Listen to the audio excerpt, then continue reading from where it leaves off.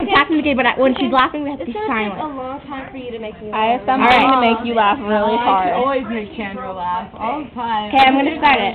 She's about to burst. Watch. Remember that time when we were hella quiet and then all of a sudden somebody farted hella loud and it turned out it might have been you or me. Chandra! laugh.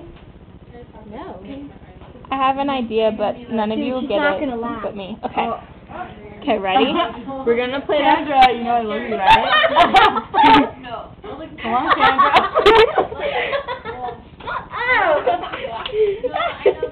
You didn't record I told you I could get her laugh. No, you can't. I told you I could get her laugh. I wish I had water. You sure, Chandra? You sure you don't want to laugh? Julie. Wait, Julie, didn't you want to lick something of yours or something? Lick? or, no, it was kiss. Okay, there we go. Kiss what? I don't know. She never said. She's like, I didn't kiss Julie's. And Julie's what? I don't know. Oh my god, my, um, um, I'm sleeping with like a stick. Jules, shut up. Actually, I'll put it straight back at you. Okay, you guys want to hear it?